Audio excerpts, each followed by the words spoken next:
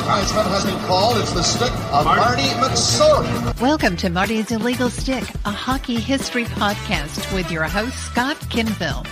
Let's hop on that Zamboni time machine and go back in time to look at hockey's glorious history. And what's up, hockey fans, and welcome to episode number 93 of Marty's Illegal Stick, a hockey history podcast brought to you by the Sports History Network.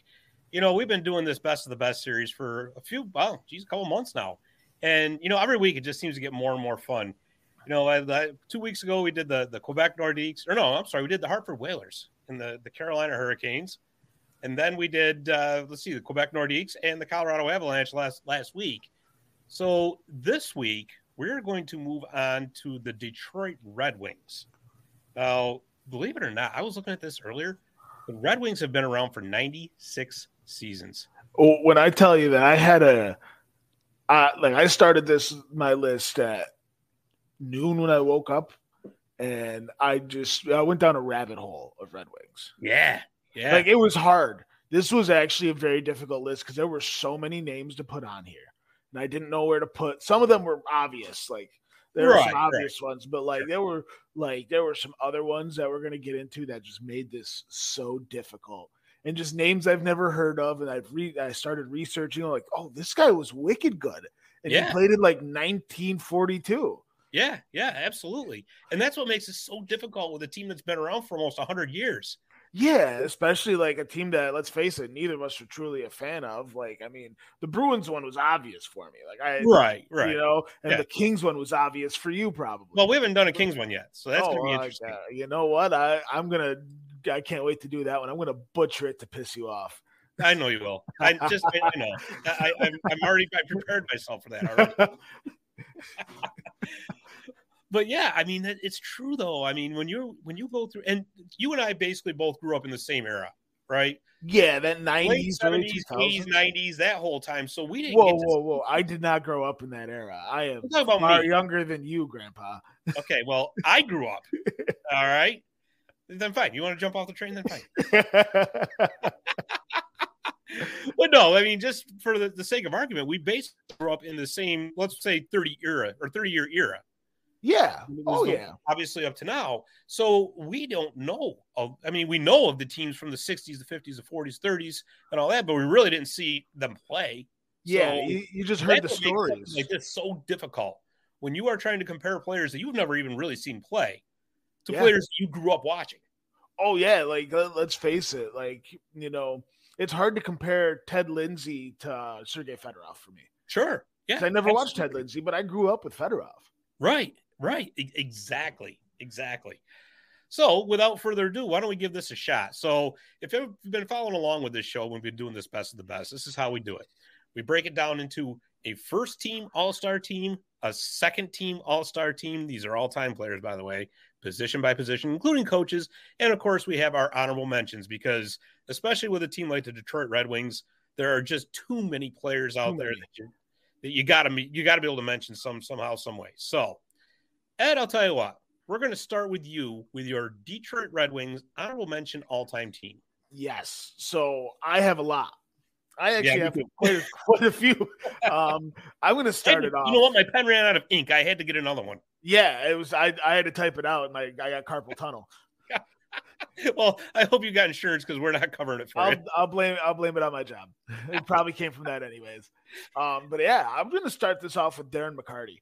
Okay. I mean, just I mean, uh, he's he's never going to go down in the annals of history of all time great or anything like that. But he was very meaningful to that late '90s, early 2000s Red Wings team, and sure. he was like and i've heard him described as the lifeblood the the heart of the team where like sure he may not put up the points but he rallied that team i mean just look at the history of the the red wings avalanche rivalry right. and he was in the front lines he he wanted he wanted claude lemieux's blood and he got it and it's just it it, it kind of he was kind of just an overall just locker room guy I mean, yeah, absolutely. Awful hair, great in the locker room. Did you see that show on ESPN when they had him and, and Claude Lemieux sitting down together? He, he looked like an eraser tip. his hair was awful. But I, I, you know what? He's he's one of my favorites and one of the best uh, to me. One of the best to ever put on the Red Wing, the, the spoked wheel. Um, my next one's Chris Draper. Okay. Um, just Good. overall, like the the late '90s Red Wings was just such a wagon.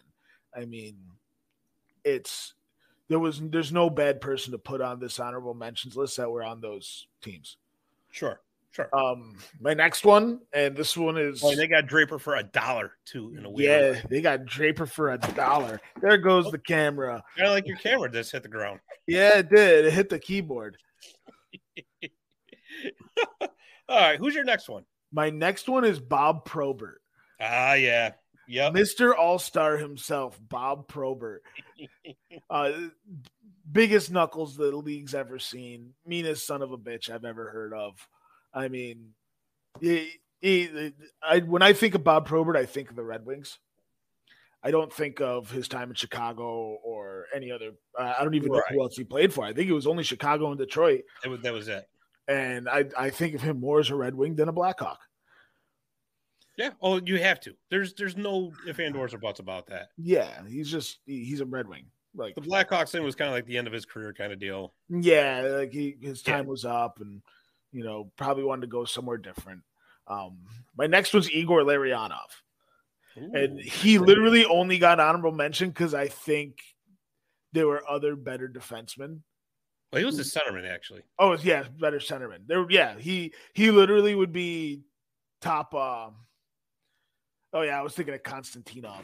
Right. Um, but yeah, Larionov. The only reason why he's an honorable mention because he would be on uh top two line on this series on almost every other team. Sure. Did you ever hear? uh Did you ever hear how uh Slava Fetisov says his name in that of Miracles and Men? No, It's so funny because he's talking about because they were part of the, you know the, the new Russian Five, and, they, and he called yes, Igor was a professor. He was hockey professor. He was like a little nerd. so.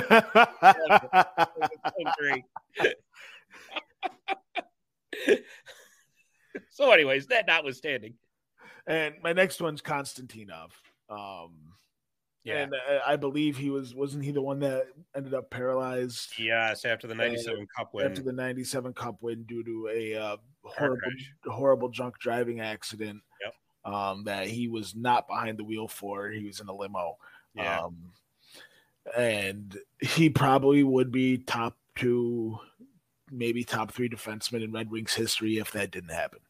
Ooh, boy, that's that's a bold statement right there, my friend. I, I don't think it is. I really don't think it is. Like uh, uh, the Red Wings had like, are they they breed offensemen. They used to win games by outscoring, not by out defending. yeah, and they and history's shown that. I mean, look at the names that they have for offense. There are too many to count, but you look at defensemen, like you're like, oh, okay, they're a little lackluster here, but they didn't need it. yeah. Well, He- that's there's a lot of truth to that. There is. I mean, but I'll tell you, you're right. Konstantinov is one of those guys that could you imagine just what could have been? You're, you're right on that. I mean, we'll never know, of course, not unfortunately, but Yeah, man, and honestly, like uh, it's it, it- that's one of those heartbreaking hockey stories.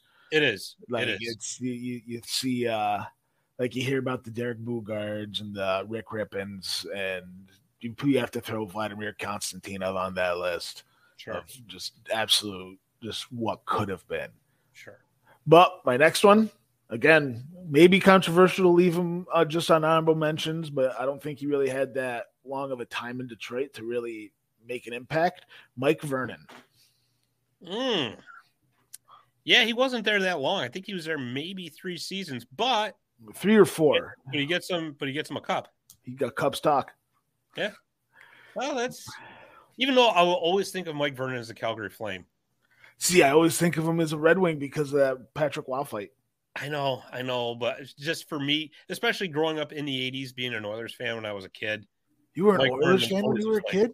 When I was a kid, then Gretzky got traded to LA, and that's when I went to LA. Oh, so you were just a Gretzky fan. Oh, Gretzky was my idol, dude. Okay. Idol. I respect that. I Oh, yeah. respect that. Ray Bourque was my idol. And uh, when I was a kid, and it was like I, when he went to Colorado, I, I watched nothing but Avalanche games that year. Right. Mean, that was that was at the end of his career too. Gretzky Yeah. in his prime. I know that was nuts. I still can't believe that. That was the dumbest trade in hockey history. Uh, um, my next one, Dominik Hasek. you know, that's that's an interesting name because I was actually thinking about him too. I was I didn't realize he wasn't there that long. He was there for like maybe three seasons, but the impact he had was unbelievable. He got a cup. He got Yeah. two. I think he got two there. No, he was he was the 02. He won it in 02. I think he won it in 08 also. Was he was he still with him? I I'm I'm Google I'm looking this up right now. I think Osgood came back for that one to be honest. Yep, dominant. it was uh Osgood was the st- uh Osgood was there. I think he was the backup. Hmm. So let's see. Let's look at career statistics here. Yep, 08. So he was there for two years in 01 and 02, 03 and 04. Went to Ottawa. Then uh 06, 07, and 07, 08, he was with Detroit again. Huh.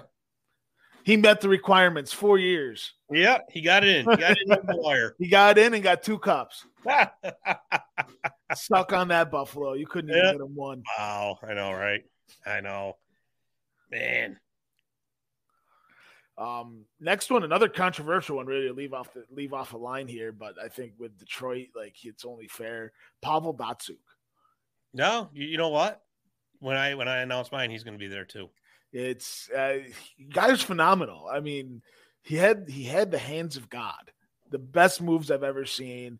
I mean, remember when he just danced Logan Couture out Yeah. of the States? Oh, Broke his ankles. broke his ankles. I mean, he if I was Logan Couture, I would have went into an early retirement after that. But, Yeah,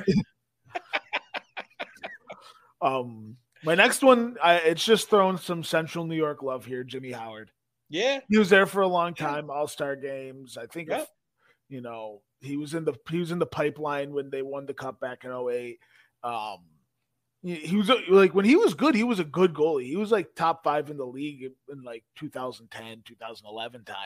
yeah. But history, I mean, uh, time, Father Time did him dirty. Well, Father- not only that, but you know what? He was also a victim of circumstance. Well, After that, you know, 08 Cup win and 09 Cup final run, you know, they started to slowly but surely fall on hard times. Yes. And Jimmy was there for that. Yeah, and it, he he really felt the uh the the issues of not having a great defense in front of them and you know the injury bug caught up and it was just overall just a a, a, a, bad ending to an overall decent career not hall of fame career but hall of pretty good Yeah. Absolutely. my next one's brendan uh nope uh, uh joey kocur Oh, boy, you are loading up the knuckle lineup, aren't you? Listen, you, you got to have a checking line, man. You got to have the tough guys. but he he only played for Detroit. The dude bled red and white. I mean, he, Actually, I think he ended up with the Rangers later. did he end up with the Rangers? Yeah, I think he did. Ah, I'm. Uh, I grew up. had to With, replace Ty Domi. God, have you ever heard him talk? No. Ty Domi is one of the most eloquent speakers of all time and one of the most polite people I've ever heard get interviewed. Oh, I thought you were talking about Joe Kocur. Oh no, Joey Kocur looks like he smokes Marb Reds for a living.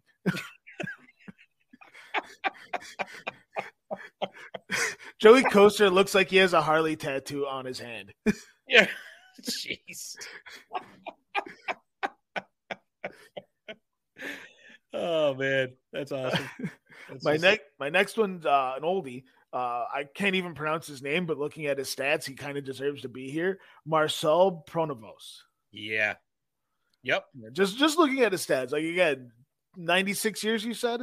Yeah. We're gonna be talking about some people we never even heard of. Oh, there's no doubt about that. You know, There's no doubt. um, you know, include you know Larry Murphy. I put on the list. Um, he was he was there. He's uh he was there for those cup that late '90s cup run. Right. Um, just kind of a missing piece in the back end. You know, he was he, you know that when when they got Larry Murphy, he was kind of he wasn't a contributor, but he was a necessary part of that team. right. Right. Um, my next guy is somebody who I again never heard of, but just looking at his statistics and his career, he was he you could put him up here is Gary Bergman. Yeah, he's on my honorables too. Yeah. Um, and my last one is somebody who will my last player is somebody who a lot of people would also be kind of controversial leaving off a line here, but Henrik Zetterberg. Believe it or not, you and I are thinking alike on on some of these here. Oh yeah, probably. Um, and I'll tell you what makes it so difficult for because I'll, I'll tell you right now, Datsyuk and Zetterberg are on my honorable mentions too, and I'll tell you why. Because looking at these stats for the all-time Detroit Red Wings, they have been blessed to be loaded at center. Yep, loaded, loaded at center. So you've only got two center spots in the first and the second team All Stars. So when you have you know five, six, seven Hall of Fame centers at your disposal, I'm sorry, but somebody's got to go. Somebody, yeah, somebody's going to have to be left on the back end. Yeah. And, you know, it's unfortunate because like Henrik Zetterberg would probably be like a top three center in history for like the Minnesota Wild. Right. Exactly. You know? exactly. He, with the Red Wings, he gets pushed to five, six. Right. Exactly. Um, exactly. My honorable mention coach is Mike Babcock. All right. I mean, he won the cup in 08. That's all it is to me. It's he, he won the cup and he he he got wins.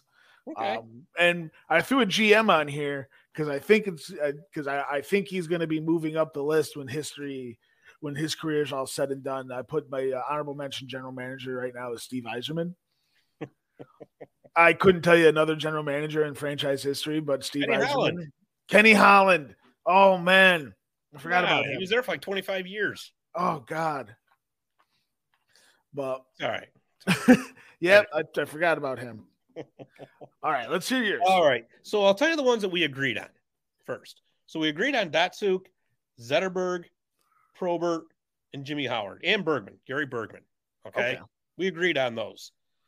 My other ones that I threw in, and I can't believe that I'm putting this guy on an honorable mention list, but like I said, when you're a, a franchise that's been blessed with Hall of Fame centers for the better part of 96 years, again, somebody's got to go. Alex Delvecchio. Now, he is the third all time leading scorer in Detroit Red Wings history. He was a part of those powerhouse teams in the 50s. I mean, there was during the 50s, it was the Detroit Red Wings or the Montreal Canadiens that were winning the cup. There was no in between. Yeah. So, um, see, I read that he was a winger. Well, he's he's listed as a center as well. So, and again, and you know what though? It's tough with these because there are players that played both center and wing. You know, so there's that whole back and forth.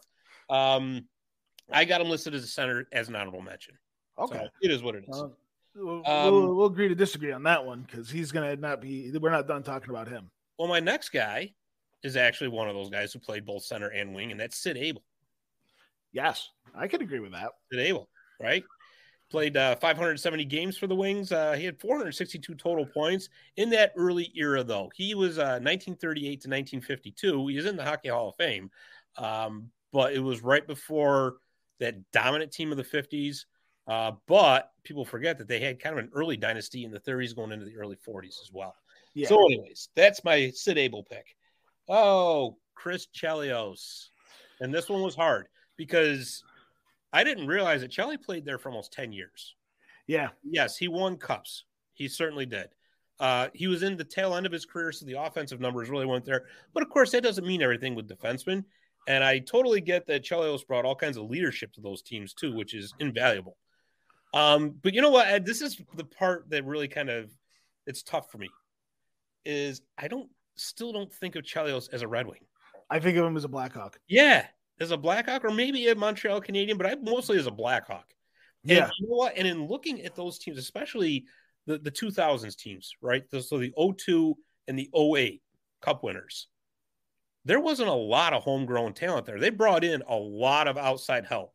Yeah. That, so this is all mm. where it gets conflated too, because do you throw Brett Hull on this list? Is, this a true, is Brett Hull a true Red Wing? No, not really. No. I mean, he'll always be a St. Louis Blue to me. Yeah. I will never consider Brett Hull a, a Red Wing. I'll never consider Brett Hull a Dallas Star.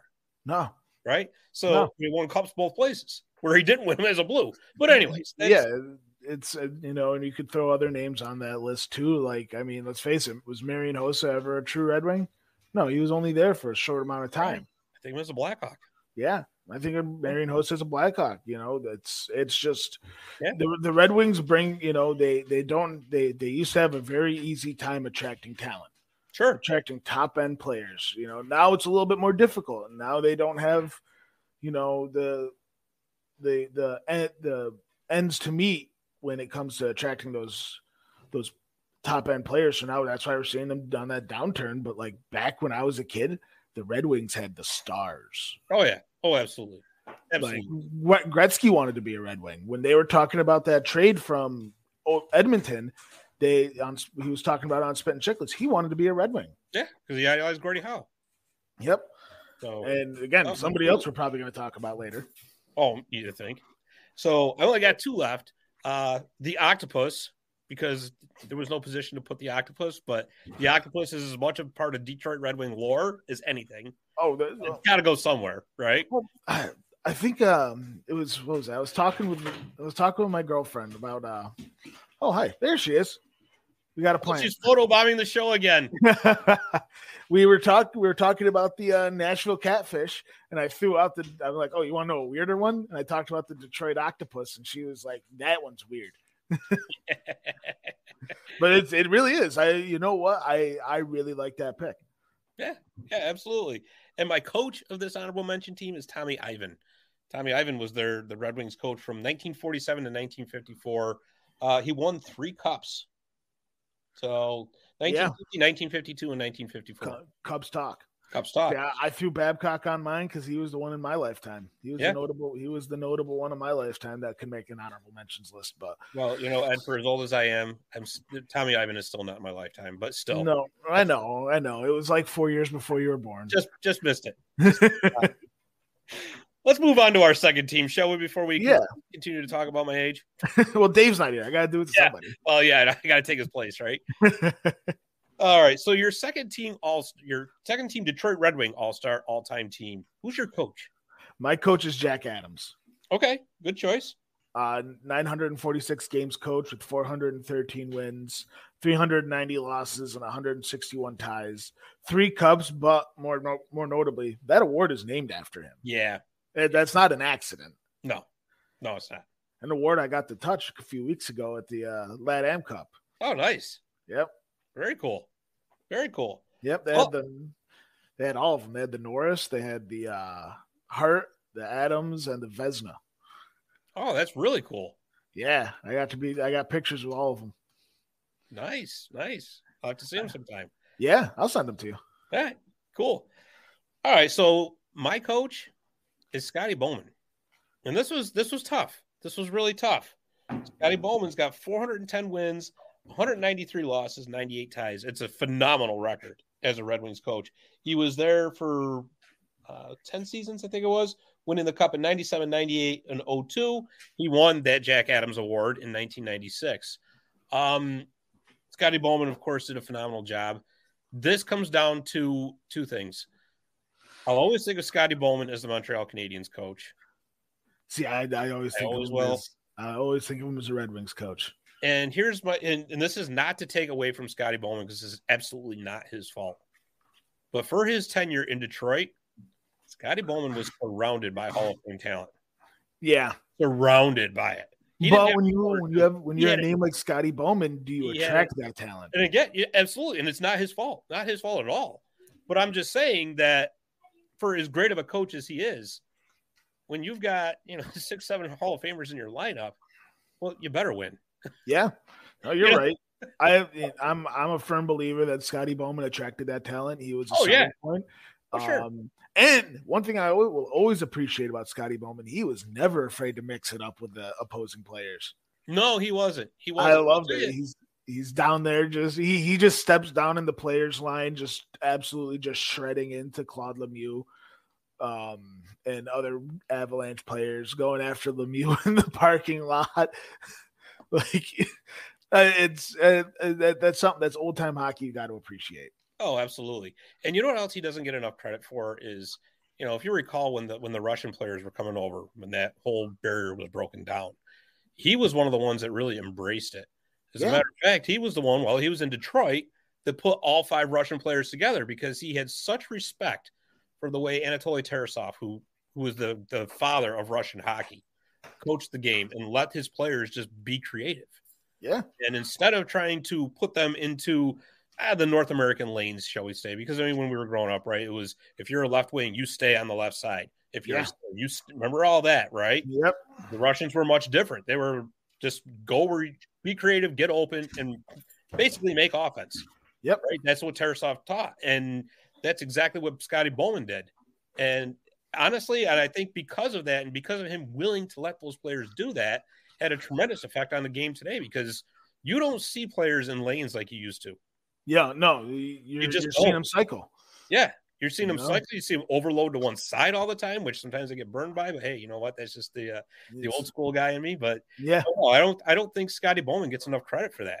No, he does not. And he he's overall like just one of those coaches that will go down in the halls of history as probably the greatest coach of all time. Oh yeah, oh yeah, I, mean, I, I yeah, everywhere. I can definitely, yeah, I, I, I can agree with that. He won everywhere, even even when he was helping his son learn how to be a GM, he won. Right. You right. know, it's I, I can wholeheartedly agree with Scotty Bowman being on this list somewhere. Oh yeah, absolutely. All right, my friend, who's your goalie? My goalie on this on second line is Chris Osgood. Yep, we agree. Yeah, it, it, it, it's it's overall like like we said, Cubs talk. He got what two of the two, two or three three with the Red Wings. 08, 97, 98. Yes, that's right. He was backing up Vernon in 97. Yeah, and he was starting for 98. 98, that's right.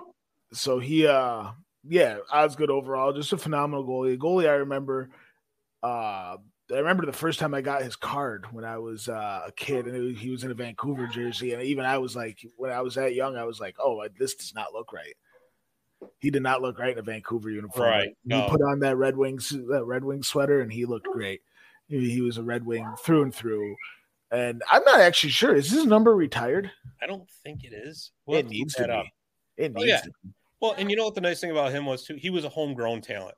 Yeah when they were bringing in all that outside help, when they were bringing in the, the Dominik Hasek's of the world, the Mike Vernons of the world, he was the homegrown Detroit guy that still managed to share in all that success, even though they brought in, like I said, uh, for lack of better term, guns. Right? Yeah, yeah, they had they, you know, that that '97 team. It was like, I mean, yeah, they had homegrown talent, but like the Russian Five were a big part of that. Oh, sure. You know, can you call them homegrown if they all played together in Russia? I mean, yeah, yeah. You can make the argument that yes, because that was their first NHL stint, but right. You know, I really don't think it's homegrown when they were already coached and professionals before. Yeah, but that's they, yeah, you're, you're right. For that, absolutely. Mm-hmm. But like you, you have that homegrown talent like Chris Osgood, and it, it really puts an identity to the team. Right. Right. You know, who's your goalie? You Same said thing. we agreed. We agreed. Yep, we agreed on this one. So okay. I want to know who your two defensemen are. All right, I'm going to start off with the easy one, Nicholas mm-hmm. Kronwall. Okay, we're agreeing there too. Nicholas Kronwall. I mean, the the I mean, he brought physicality back to the sport when it really started to die. Um, he was overall just a, a Red Wing for life, and you can't help but appreciate that. Um, and my other one is Paul Coffey. Hmm. All right, all right. He met the requirements, four seasons. Yeah, yeah, uh, he did. He met the requirements of four seasons, uh, but his points were over a point a game with the Red Wings. Yeah, but in the time that he played for him, that's not really. I mean, it's impressive. Don't get me wrong, but I think it was actually quite impressive because he didn't have he didn't have to be relied on like that well, which actually freed things up. For, I mean, listen, I'm not taking anything away from him. The guy's a Hall of Famer. He's one of the best defensemen of all time. Like, yeah, we'll think of him as an Oiler for the rest of our life. But uh, the second team, I always, or do you think of him as a Penguin? I think of him as an Oiler. Yeah. But my second team, I'll always remember him with is Detroit because I watched those cups. Yeah, I watched those years. True. I didn't watch.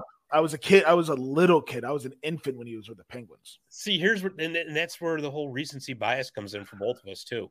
Yeah, because we got to see these players. Yeah, like it's uh, talking about my lifetime. Paul Coffey was, uh, I, like you'll always remember with the Oilers because you always had that Gretzky connection, right? You know? But then that second team, you always think of him. I always think of him as is the Red Wings because I watched them, and then I got to see him play a season, a really sad season with the Bruins, but you know what? If you think about it, you want to talk about a guy who's just sold out under a lucky star, though, huh?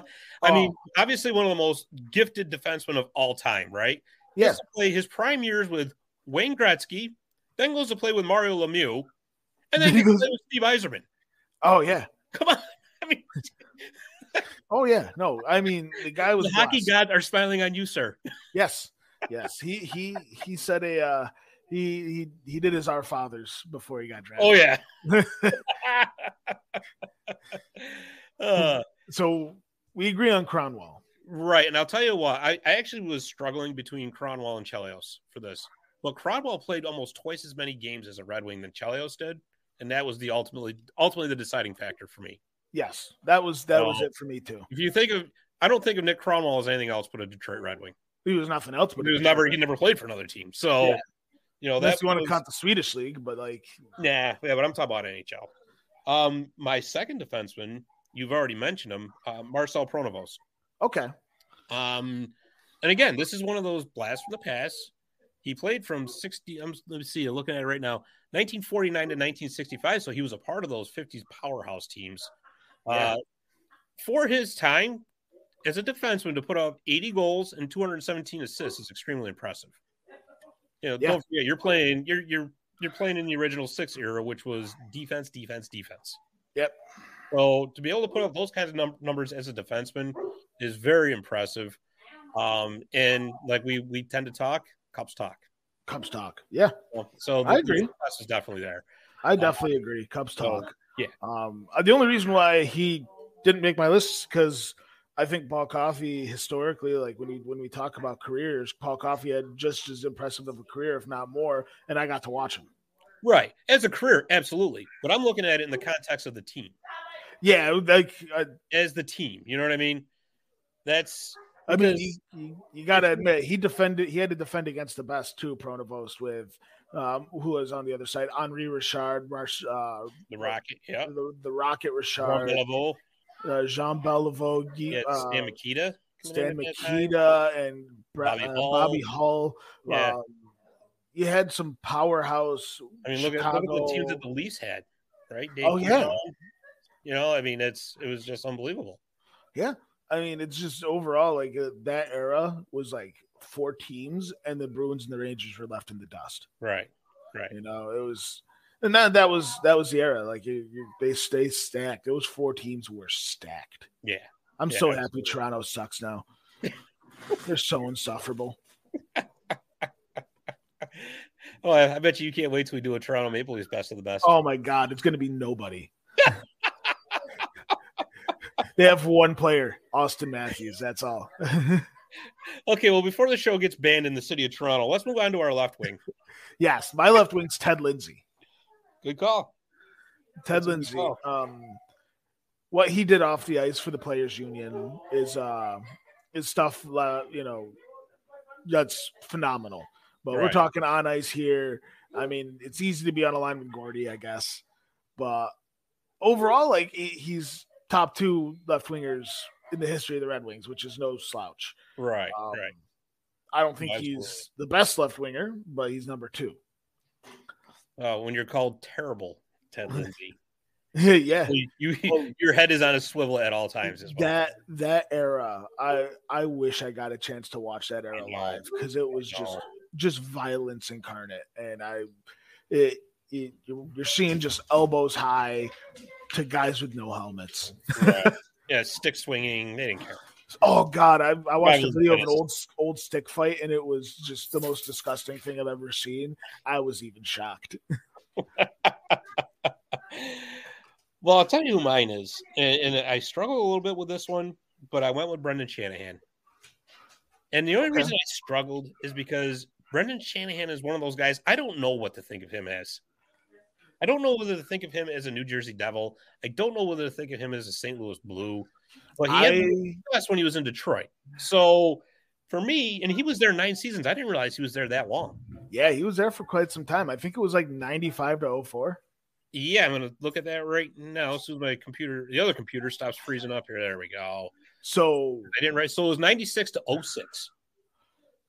96 to 06 so yeah So he was there for three cups, and a big part of them as well. big part of them. So Big I had. I actually read also Brendan Shanahan spent time on the right side too, so I put him as my right winger. All right. Well, I mean, that's yeah. I mean, it is He- what it is. I got him. I got him at left. wing. He's a wing. Yeah, Uh, he's a winger. I mean, really, you could you could flip flop him. Yeah, I, I actually agree with a right-handed shot being on the left left hand side. I don't mind that. I really don't. I don't mind that at all, actually. So it's so like seeing him on the left wing as a right-hander. That was Right. that you know I, I, that's something I always appreciate. Right. Yeah, absolutely. Absolutely. Get All right. Your center? My center is Fedorov. Yeah. It- it- no slouch being number two in the franchise in my eyes, but you know it's hard to compete with who I think we both have as number one. Oh, there's no, there's no, no doubt about that. Um, I had Fedorov too, but I, I had a hard time because, believe it or not, and again, this is because we didn't grow up in this era, but Alex Del Vecchio's numbers were actually much better. He was there much longer too. Yeah, He was with That- Detroit for 24 seasons. Yeah. Yeah, I have his stats You know, out. 'cause It was impressive. goals, 825 assists with for 1,281 points. Um, but I also kind of I look at it and say, wow, 24 seasons and very talented, of course. Um, but yeah, no, no wonder he got that many points. For Fedorov, the the the tipping point for me, I, I watched him play. Yeah, And when he when he was in his prime, I'm telling you, he was the best player in the league. by far. For those, for those two to three seasons when he was just everything. Fedorov was the most impressive player I've ever seen play the game. Yeah. Uh, you want to talk about the complete 200 foot player? There Just- it is, Yeah, right there. Sergey, Ser- Sergey Fedorov in his prime. Sergey Fedorov in his, in his prime was the most unstoppable force the league had.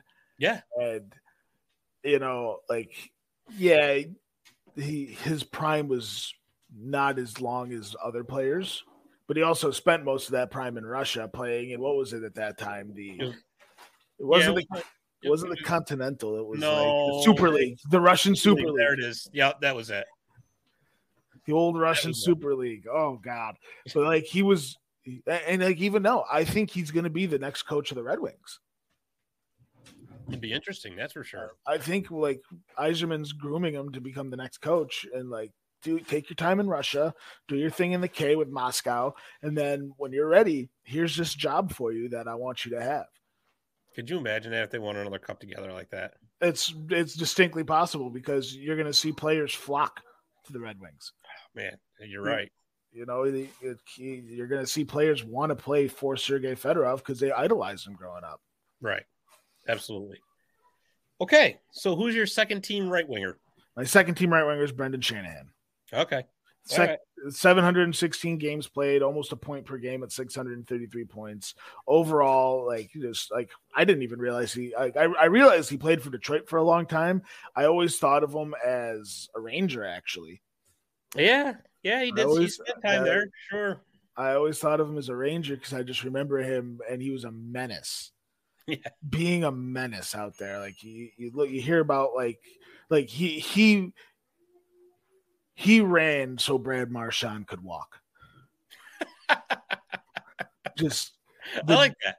he he he was he, he was playing he tiptoed that line of dirty and clean was not afraid to get in those those muck zones the the corners in front of the net he wasn't afraid to to lay hands on people he just overall just a menace on the ice and he got points for it Right. like he Plenty of 'em. he got plenty of them and honestly like to steve yzerman should think about trying to coax him away from that toronto job and get him in detroit Did you ever hear about that story with him and Rick Vaive?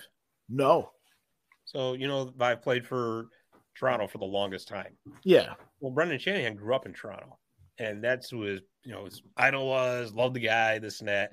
Well, he got to meet him after, uh, I think it was a, after a Maple Leafs practice one time when he was a kid, and he wanted to get his autograph and all that. Well, he got snubbed.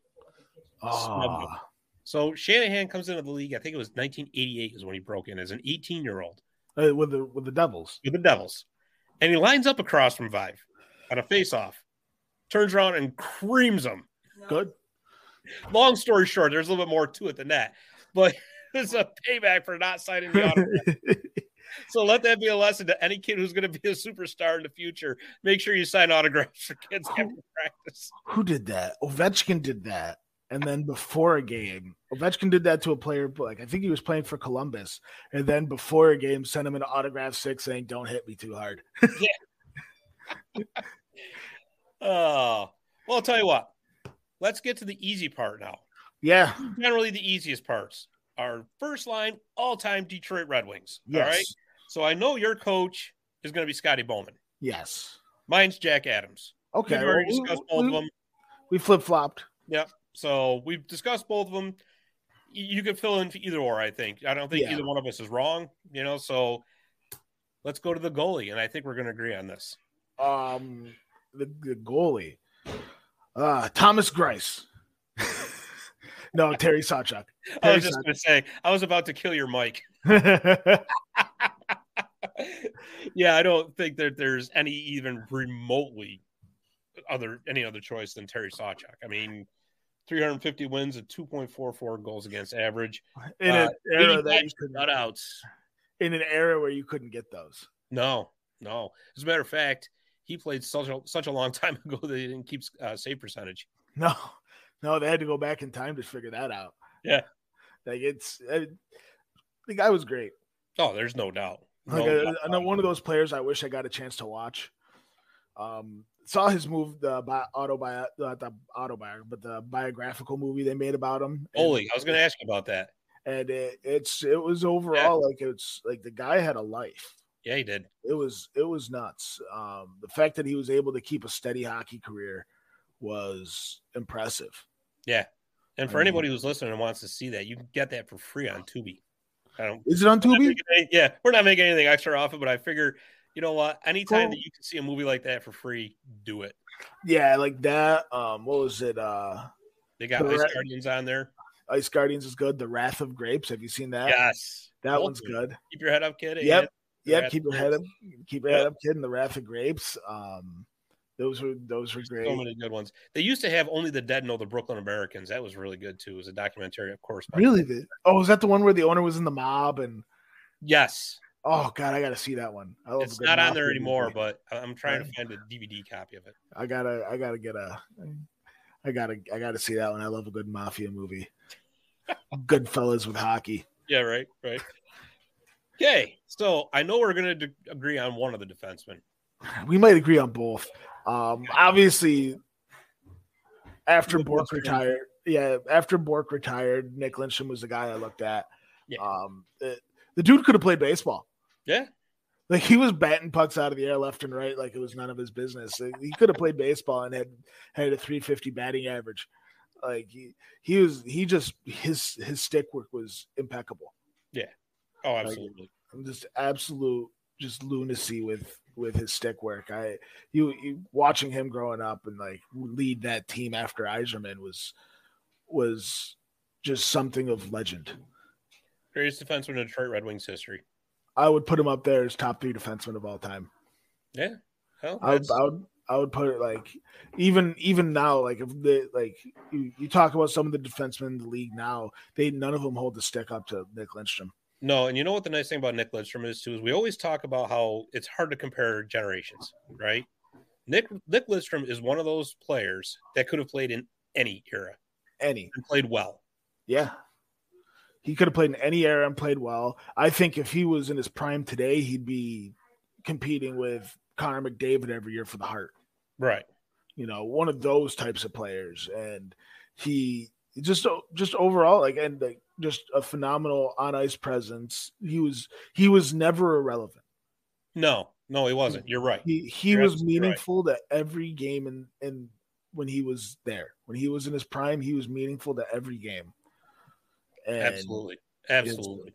uh, you know, kind of coached Zetterberg into taking the captaincy. Captaincy. Um, I think he was there for what's his name's first season, uh, Larkin. I think you're right, actually. I think he was there for Dylan Larkin's right. first season, and kind of was uh, just overall just a, a Nope, just phenomenal. missed him. Just missed him. Just missed Oh, him. he might. I think he was still present in the organization. Yes, he was still yes, he was still a part of the organization, but he wasn't uh, he wasn't a player any longer. I think at that point he was a consultant or something, something Yeah. office. But like he's somebody who was so good in the locker room that you have to put him in that position so he can Oh yeah, lead Oh, no the youth. You know, especially like young defensemen of today where the game has changed. He was the reason why the game changed. sure. You Sure. know, that you know, you look at that 2004 era of the NHL where it was like defensemen were the biggest guys. Defense, you know, like you had multiple guys that could kind of stand up to Chara on a team Right, right, per team. sure. And you have, you know, and then you look at Nick Lidstrom and how he was able to move the puck. He was always a, a pass first kind of guy, and he would just absolutely just blow people out of the water. Yeah, absolutely. Who's your other one? Reed Larson.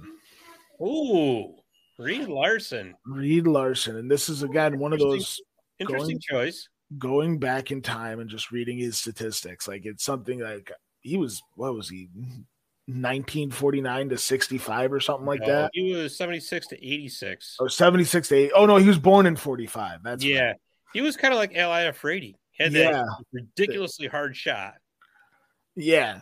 And like 708 games played with the Red Wings, 188 goals, and 382 assists for 570 points. That's nothing to slouch at.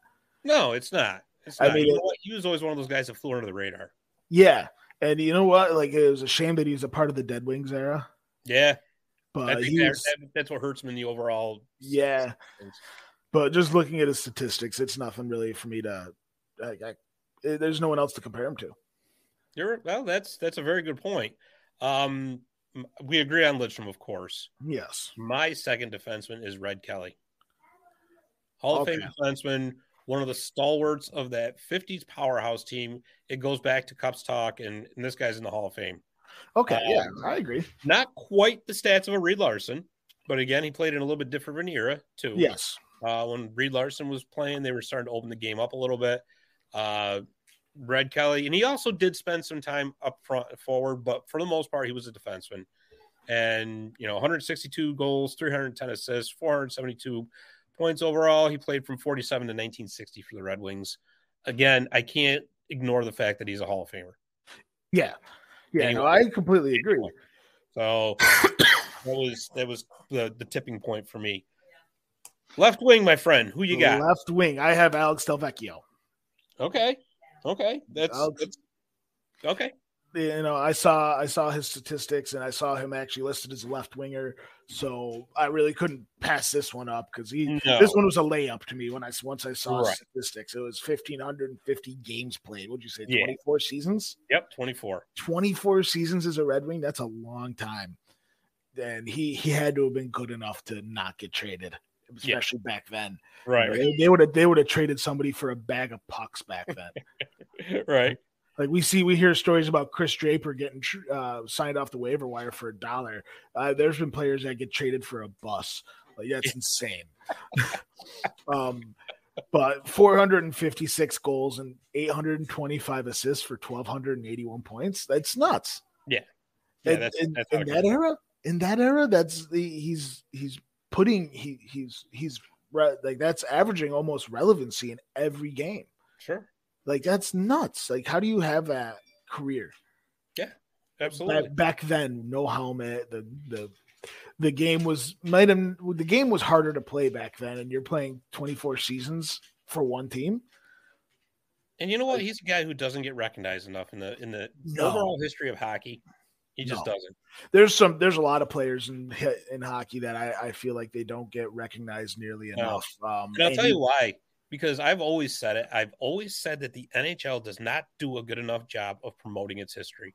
Well, like you watch you you you watch a, a Chicago Bears game, you see 10, 10 highlights of Walter Payton per game. Yeah. You Right. watch a basketball game, you hear Jordan, you hear Scottie Pippen, you hear all these, you know, you watch baseball, you, you're seeing Aaron Judge highlights next to Babe Ruth highlights. And I watch a hockey game and like they're not No. talking about these old these old players that No. were heroes to the current players. And you know what irritates me is that they had the NHL network. And instead of doing like more history related type shows, they'll do like on the fly like eight times in a row. Yeah. It's like Yeah. I saw these highlights. Yeah. Like, like talk about again. the, Give me something talk- talk about the 89 Calgary Flames and how they overcame Exactly. adversity and got Lanny McDonald his cup.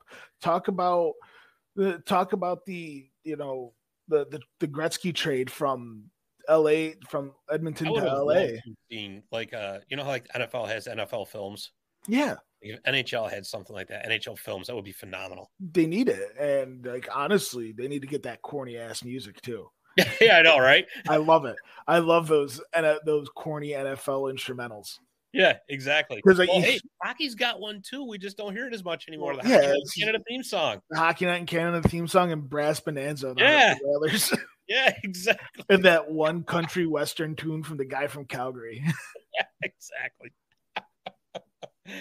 Oh, well, I'll tell you, for my left wing, I went with Ted Lindsay uh, for reasons we've already discussed. Yeah. The impact the guy had on the game was just unbelievable. And yeah. And another one who kind of gets forgotten in the in the, the the halls of hockey history, so to speak. But I'll tell you what, players everywhere to this day owe him a debt of gratitude. Oh yeah, oh yeah. Well, I remember when he passed. Um, I went to a like it was like maybe six days after he passed away. Um, and Bruins had a home game. It was their first home game after that. Um, I was it was Boston versus Carolina, and they had like a huge like memorial for Ted Lindsay before the game. Mm-hmm. Like that just shows that like he meant a lot to hockey when you when teams that you didn't play for two two one team you didn't play for and the other team wasn't even around when you were around. Sure, were are honoring this guy. Exactly. You know, exactly. like they those two teams in a personal level probably didn't owe him anything and probably disliked him because he took cups away from them. But still, yeah. but they they gave him a proper send off of only that only legends deserve. Um, right. You know, statistically, I don't think he was quite there with Delvecchio, and I was going with that. But Ted Lindsay would meant a lot to the game of hockey and players yeah. overall. Well, and, and honestly, uh, my my things were just based off what I saw for their positions. That's yeah. really you know. So you know, I, yeah. You know, but I think, with that said, I don't think there's really um much discussion about the last two spots here. No, no. Um, I think center is is a no brainer. Uh, yeah, Dylan Larkin. Yeah, yes, yes, the future Stevie Y. No. Yeah, yeah, right. um, yeah, David Perron. Yeah, yeah, there you go. Right, hasn't even um, played a regular season game with him. Already a great. Yeah, yeah. they're already getting the Ring of Honor. Uh, Stevie Y named the named the team captain at age 21. Yes, you want to talk about pressure right off the hop. Yeah, was, remember that was a time that there was just ending the Dead Wings era. Yeah, he was going to yeah. be the one that was going to take him into the the promised land, really, and he did. He, didn't. He did not disappoint. No, um, not at um, all. Uh, 22 seasons with the Wings, uh, 692 goals, 1,063 assists. You know what? I always kind of felt bad for Steve Yzerman in the regards that, in the same way, I feel kind of bad for like Dale Hawerchuk, uh, you know, those uh, Ronnie Francis, is if they didn't play in the Gretzky and Lemieux era, they would have been the best. Would have gotten even more love as far yeah. as you know, you, you know like Gretz, the Gretzky and the Lemieux era. Like, yeah, I, I've I grew up kind of in that era to, towards the tail end of it.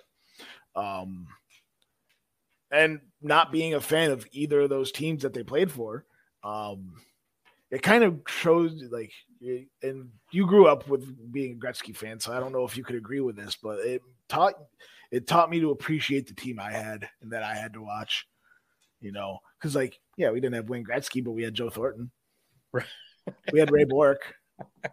I will tell you this: that growing up, you know, obviously as an Oilers fan first, I didn't because again, I was a kid. I was just, you know, I was in 1980. I was six years old.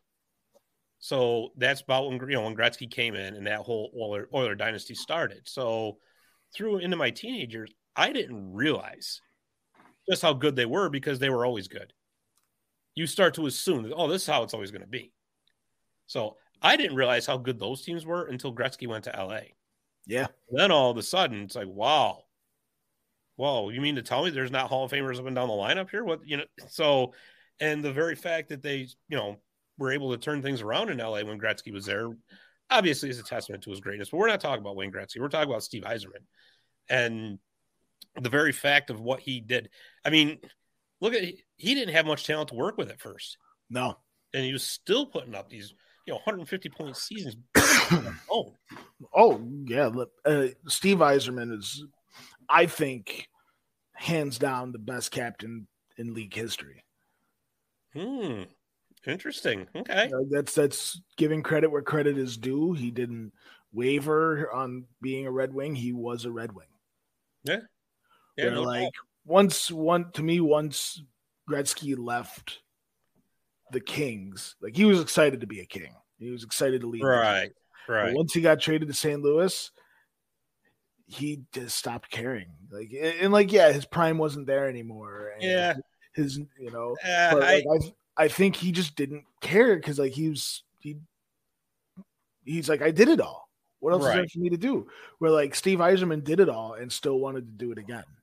right, right, You right. know, No, and like there's, and I think injuries with Wayne too. His back was really starting to starting to go. And, end. You and let's not forget, Steve Yzerman nabbed the puck from Gretzky. in that Western Con- in that Western Conference. it overtime game seven. Yep, overtime game seven, and then just, just, I I would say, the best camera footage of a of a slap shot I've ever seen. Yeah, yeah, definitely. That was as as much as it, it stunk to see Wayne Right. get pocketed like that. That was just an amazing shot. And and I'll tell you, those those teams back then, those those Red Wing teams, man. You know, they got close in '95, but they were they were Marty Brodeur. Yep, they were got they got Brodeur. Yeah, and then they got avalanched in '96. Yep. and they finally broke through in '97 and '98. So you know, and uh, you know, not for nothing too. Most of that what was it, 26 straight seasons of the the Red Wings going to the playoffs. Second was- most of all time. It was the Stevie Y era. Yep, second most of all time. Yeah. Bruins are number one, Oh, like hey. always. Oh, yeah, boy. Oh boy, here we go. I'm getting I'm starting to get those preseason jitters where I'm like, we're winning the cup this year. Yeah. I know we're not, but we're You winning better, the I was gonna year. say you better start getting some of your players back then. So I got We're not we're not winning the cup, but we're winning the cup. yeah, well, you just, it was the Dixie Cup, right? Yeah, no, it was um it was the red solo cup that we won. Uh and now drum roll please. Our right wing. We'll say it at the same time. Three, two, one. Gordy. Gordie Howe. Wow. Yeah, Um, there's this is a no brainer. So I have a lot with him. Um my favorite player of all time. Like when I was growing up, my dad was like, Yeah, Bobby Orr's great, Ray Bourque's great, all these players great. No one beats Gordie Howe. Yeah, You know, even when you're Wayne Gretzky's favorite player, that's that speaks volumes. Right. Um, I had a chance to uh to meet him and work with him when the the first uh, Comets Fan Fest. Oh really? So I was working security for that, and I was leaving. Like that, that was my last day. Like I was like, I'll do this one last event, and like, you know, go on to a different job. Um, and my boss was like, "Hey, you like hockey?" I'm like, "Yeah," and he's like, "Work with Gordie Howe." I don't know who he is. I'm like, "Okay," you know, and, and I would I kept it. I I rec. I well, that's the thing. He was he was a football guy. Didn't know anything about hockey. Um, well, that's the thing is like here in the states, everyone knows Wayne Gretzky, but no one knows who Gordie Howe is. Yeah. Okay. I, You, know? I, I, you got to be a hockey fan for Gordie Howe. I guess I understand that. Um, and I had the chance to work with him, and I took full advantage. Like when he told me I was working with him, I was like, um, "Well, no, that that was me on the. I was I played it cool, but in the inside, I was like, my heart started beating a little faster. I'm like, I'm meeting my hero today.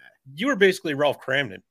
Yeah, going, humming, humming, humming, humming, humming. exactly. Um, he uh, so we had this. They had this lunch before, like this, like I, you know, they they kind of served everyone meals, and I was working security, but well, there was nothing to secure at that point, so we uh, we ate with him, um, and I sat down with him, and him and his son, uh, um, Mark was there, and I, I just sat down, and I'm just like. I, I got to talk to you for a little bit. Like, my name's Ed. I'm working with you today. He's like, Oh, nice to meet you. And super nice. And his son, his son Mark, who's a legend, also was super Oh, nice. too. And uh, I just told him like I play, I play hockey. I've been playing my whole life. And he's like, "Oh, really?" I was like, "What do you play?" I'm like, "I'm a defenseman, this and that." And I'm just like, "By the way, you're my favorite of all time. Like you're the you're to me, you're the best player to ever play the game." And you could kind of tell he loved hearing it. Oh yeah. But I think he loved it more because I'm I, I was what 21 at the time. wow. 20, 20, 21 at the time. And he's like, You're really young to be saying that. And I'm just like, No, I grew up idolizing you. Like you were one of those players that I I was like my dad showed me the film uh, the the old uh, uh, Don Cherry tapes with you in it, and I'm like I want to be that guy. Um, nicest guys. I actually I just bought a like it's maybe six months ago. I found a uh, at Cooperstown Connection an autographed Gordie Howe card for ninety bucks, and I'm like oh, sold. Hey, sold. Yeah, yeah, no, that's that's that that was uh that's kept safe with my oh, Jerry, with my Jerry Cheevers autographed jersey and my Wayne Cashman and uh, Brad Park autographed pucks. Nice, nice. Um, but they, you know, just overall, like just the way he treated me, just as a ner- hockey nerd, to me, puts him as the best player of all time. Yeah, just because like anybody else would get kind of annoyed. Well, you know what? It's it's not with Gordie. You know, he there was every he did everything well. Yeah. Right. And I'll tell you, speaking of Gordie, I was actually in, on an, another podcast here on the Sports History Network, the Historically Speaking Sports Podcast. It's available on Spotify, Apple, wherever you want to listen to your podcast.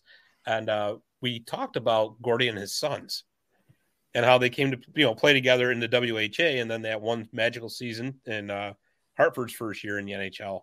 Um, but yeah, it's with with Gordie again. There was nothing that he could not do. No, nothing. nothing. And he was such an impactful, forceful player for for the longevity too. That's the thing because you'll see players that will hang on for too long just because they're playing, but they're not quite as effective as they used to be. Of course, and that happens to everybody. Father time, right? Yeah, father time. For, for Gordie to be as effective as he was for as long as he was, what was he? 51 years old when he played that last season in the NHL. Yep. With for Hartford, right? Yeah. And he still, still had 15 goals and 25 assists as a 51 year old guy. Yeah. It's, it's unheard of. Yeah. I mean, just father time has never left a victim except for Gordie Howe.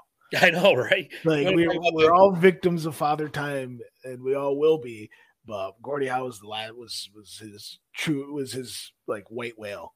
yeah, yeah, right. He's like, I gotta get him somehow, but yeah, yeah. He, he just keeps evading. Keeps playing hockey. I don't get it. And then even then, he was what 62 when he played for the Detroit Vipers. Yeah, that one game. Yeah, I mean, was, yeah, he played like he played like three shifts, but like yeah, but that's, that's okay. He was 60 something years old. He was 60 something years old and still had more professional games than me. yeah, right. decade of hockey when he played that. Just unbelievable. Unbelievable. So, yeah. I just overall just the uh, I put him as the greatest player of all time and any fan base should be able to agree with that.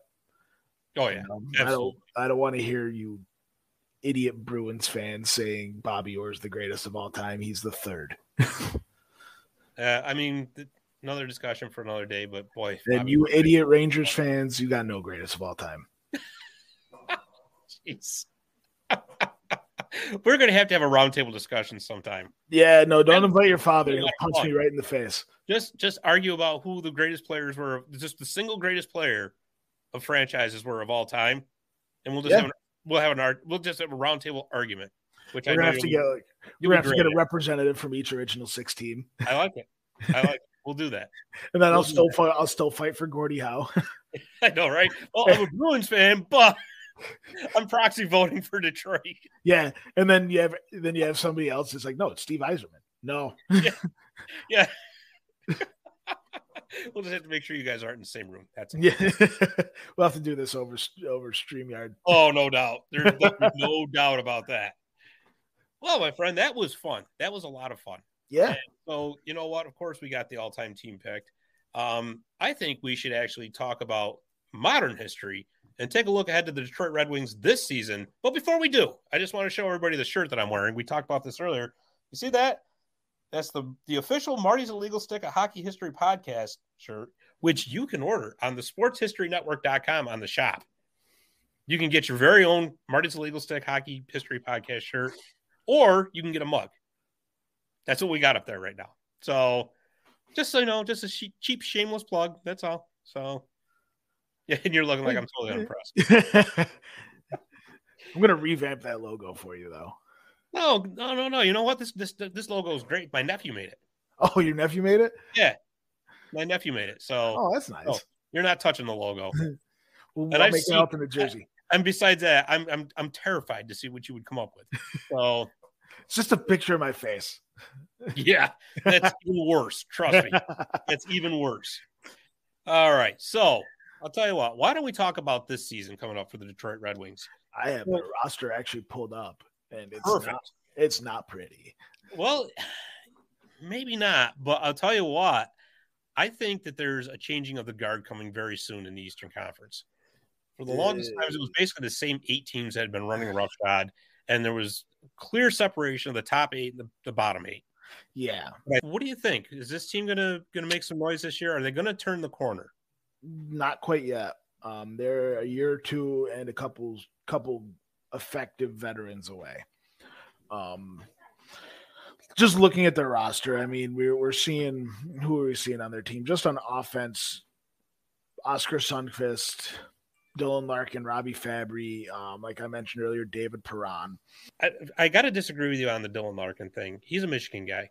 Yeah, He's a Michigan guy, and I think for somebody like Stevie Y, I think that means something to have that hometown connection for the fans. So I think that they're going to do everything they can to re-sign him. Uh, but the I don't think I don't think he wants to resign. I I don't I I don't know. I'm not in his head, so I don't really know. But Like- uh, He's he's how old now? He's what 29, mm, no, I think he's like 20, 26. Yeah, 26? I feel like I've been hearing his name for like a decade now. yeah, right. But like he like he's coming up on a decade. He's been in the league for eight years. Yeah. So Um, you know, kind of kind of that Nathan MacKinnon. I've been in the league for a decade now and I haven't won shit. You know, maybe he's just sick of being on the back end of the standings. Maybe he wants to go to a contender. You know, I mean, let's face it, this is his yeah, prime. but if he if he wants to do that, he's going to have to take a pay cut. Yeah, I, I a think. I think he's Um, more dedicated to winning than making money. But I honestly, I, I I look at their top six, and it's not bad. No, It's not bad. no, I it's mean, not. Dylan Larkin, Tyler Bertuzzi, and you got Lucas Raymond on that line. Who I think- I think Tyler Bertuzzi's a hack. he had thirty goals last year, though. And somebody has to score on bad teams. uh, second Look at, line, uh, look second Rick line, Nash. They've, revamped their whole second line. They got Andrew Copp in there now, who I'm not, I'm not sold of as him as being a, a true second line center. I'm not I think of even. him as a very good third line center. Yes, he's at middle of the road where you could put him on either two. He'll look lackluster in one and solid in the other. So you got David Perron though on the right wing on that second line, which isn't bad. He's he's a very he's a serviceable top six I, th- I think David Perron, like he, I think his heart is into this. Um, this is his first time not signing with the Blues. yeah, I Um, know, right? So he he very much wanted to go back, go to Detroit, and and probably play for Steve Yzerman, and and he definitely is. Uh, like I said, he's he's a winner. He knows how to win. He's made he's made it to the cup. uh, What twice now? Won it once. So, I mean, there's he made it as a. Golden Knight, and then re-signed with the Blues. So Right. he like he's he's a I think a solid player, a solid top six left wing. Um, I uh, again, I think their second line center. I think it, I think they should really look at players like um, Robby Fabbri and Oskar Sundqvist before they really think, make a uh, decision. But I think Fabbri's hurt for. I think he's pretty much out for the entire season, isn't he? Is he really? Yeah, he got hurt. Again, man, Yeah. that sucks. Yeah, yeah, that makes it tough. But I'll tell you what, though, you, know who they are getting back is Jakub Vrana. Yes. and I think Jakub Vrana is going to come into this season with a gigantic chip on his shoulder. oh yeah. he wasn't very happy about getting traded out of Washington, the way all that went down. Which for me, I don't know why he would have been upset because he wasn't used properly there. Yeah. He really they wanted him to be more of a, a solid bottom six player. This guy is a top six player. Who did he come from again? Washington, Yes, that's right. one of the That's right. Yeah. Yes, I do. And yeah, I agree. I agree. I think he he wasn't being used properly in Washington. I think he was very much a uh, he he was a top six talent for being forced into bottom six minutes. Um, and it's hard to compete when you have to compete with Ovechkin and Backstrom and all that. now he goes and goes to Detroit and he can actually show what he has to offer. You know, Right. And I think it's the tail end of his contract, like he didn't he sign like a one or two year contract. Yeah, yeah. So like he's really just playing this season out and gonna try to get either as much money as he can or go to a contender. Yeah. To, you know, so we'll, we'll see. Um, I still think they're not going to make the playoffs this year. I think they're, like I said, a couple veteran, key veteran players. Like I'm, I'm talking, you know, a veteran that could still compete and play. Like I'm not. Marc Staal wasn't going to cut it. Bobby Ryan wasn't going to cut it.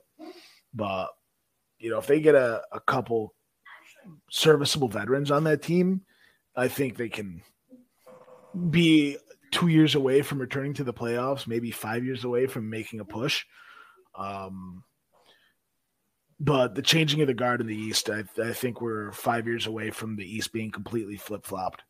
Yeah, yeah, I, uh. I gotta, I gotta agree with that. Um, even though it's it's going to be interesting to see if Simon Edvinsson makes the team, they're they're, they're highly prospect or highly touted defensive prospects uh, from Sweden. That's going to be interesting to see if he can make it. But I think you're right. I think I think Detroit's going to make strides this year. I, think, they're going to be fighting. They're, they definitely are. They're they're going to miss the wild card probably by one or two points. Um, as the preseason went along, and I saw a lot of things, I kind of changed my opinion on some some teams. You know, I think the Bruins do have a shot at a wild card spot. Um, just judging that, and I, again, I don't think the Sabres are going to make any strides this year. I do. I, I- think they're going to make tremendous strides. I realistically don't because I I don't think- see their goaltending getting any better and their defense didn't get any better. I'm going to go out on a limb and say that the Buffalo Sabres and the New Jersey Devils are going to make the playoffs this year. That's a that's a very thin limb. You're gonna break the branch. Well, I'll tell you what, because I hate to I hate to tell you this, I, I don't think your Bruins are going to make the playoffs this year. I, think I think they're gonna make the there's too many injuries to deal with, and Oh, I think Marchand Marchand is skating again. That's a big step forward. he is. um, You're yeah. right, and so is Um, McAvoy. But so is still, McAvoy. So I, they may not be there for the first couple, maybe three, four weeks, but they'll they'll be back in that, we that thought. in that Eastern Conference, if you dig yourself an early hole, look what happened to the Islanders last year. Yeah, They the Islanders were such a hole. unique. They were in such a unique predicament, though. Right. Well, and exactly. It really wasn't their fault. It's just they got themselves into such an early, deep hole they couldn't bounce back. there's no way, not in that conference. No, No way. especially in the Atlantic Division. Yeah, there's just too much. Yeah. So uh, Yeah, there's too much. In the, I mean, that that's just I'm- ridiculous. I'm division. gonna go on a big limb here, and that Toronto's gonna take like four steps back. They're gonna be in a wild. They're gonna be a wild card team. You know who I think is also going to start taking steps back? It's going to be the Penguins and the Capitals, and it's for the same reason as the Bruins. They're Age. starting to age out. Age. Crosby has what three years. There's nobody coming coming behind them. How do you replace Crosby and Ovechkin? Oh no, I'm I'm not I'm not even talking about Crosby and Ovechkin. I'm talking about the team in general. Oh yeah, no, they are they are an age. They are both an old old teams. Boston at least has youth in the pipeline with McLaughlin and obviously McAvoy and Pastrnak are, are still pretty young, but they are there is no there is no one in the red and the uh Capitals and the No, and the Penguins pipeline. They got nothing. I mean that's that's victim of so many years of success. sure. Oh, absolutely. That's what You happens. You know, you you trade away young talent to try to keep that Stanley Cup window open, and eventually it just catches up to you. Yeah, and then that window slammed shut. But what I'm what I'm saying is, I think with with teams like that that are looking starting to look at a precipitous fall, it opens the door for teams like Buffalo, for teams like New Jersey, eventually Detroit, Again, I don't think no, I don't and don't forget Ottawa. Ottawa's loaded with. Ottawa's Ottawa's the team that I'm scared of. Ottawa's the team that's going to make the. I don't think they got the goaltending. I think they got more better goaltending. Cam Talbot's out for two months. I'd rather I'd rather have a pylon in that than Matt Murray. well, he's in Toronto now. That Yeah, exactly. I'm happy to see him there. I'm so happy to see him in Toronto just to ruin that team. but the so yeah, Toronto I think's taking two or three steps back. But they uh I think Boston will squeak in. Again, I think Boston's squeaking into the playoffs. It's the there's the the goaltending tandem I think is really really good there. Um uh, Ottawa's going to actually. I think Ottawa's going to come in second in the division, or third, third wow. in the division. I think Ottawa's coming in third in the division. It's going to be Tampa. It's going to be Florida. Then it's going to be Ottawa. Then it's going to be Boston and uh, Toronto in the wild cards. You know, another intriguing team is the Columbus Blue Jackets. Very. They're in the Metro. They're in the Metro. They're in the Metro. But it's an um, intriguing team as far as like contending for a wild card. I think I don't think they're quite there yet. They're a year or two away. Because I think they're they're in the same goaltending problem. No, I don't think they have a big big goaltending problem. Zekins is really good, and they still got Korpisalo. Yeah, but is that enough to take you to the promised land? I don't think it's enough to take you to the promised land, but it's enough to help you seem like you're contending for the promised land. Well, they, they got a stockpile of young talent. Now they got and they got Johnny Hockey and Patrik Laine's happy. Yeah, he doesn't yeah. want out of there anymore. I know Patrik Laine when he's happy. I wish he stayed depressed because he is deadly when he's happy. God, he's so good when he's when he's comfortable. Yeah, right. Exactly. when he was when when he really wanted out of Winnipeg, I mean, he was he was scoring own goals. He was he was playing he was playing Fortnite on his on, he was bringing his Xbox everywhere. He did not care about hockey, and now he starts caring again. God, right. he's gonna light the league up. He's gonna he's gonna get 64 this year. Yeah, yeah, no doubt, no doubt. All right. Well, hey, listen, that was a lot of fun. It was. It really was. So next week when we do a best of the best, we should pick a Western Conference team so we can talk about our Western Conference. Los Angeles. You really want to do the Kings next week? I want to ruin you. I'm going to make fun of everything. Drew Doughty's nowhere on my list. He's like the worst. Of course he's not. I didn't. I didn't think he would be. No, Dustin Brown, the only good player in Kings history, and the only reason why is because he's from New York. All right. Well, tune in next week as Ed ruins my hockey life. And uh... I'm going to make Scott cry. yeah, probably. But in the meantime, we do appreciate you listening. We uh, we hope you either agree or disagree with our Detroit pick. we will let us know when we put this out on social media. you guys are so rude. You don't even care. we just suck it, Eric. That's a, yeah, cool. All right. Well, anyways, thank you for listening. We appreciate it. We hope you enjoyed, and we will see you next week on Marty's Illegal Stick, a hockey history podcast.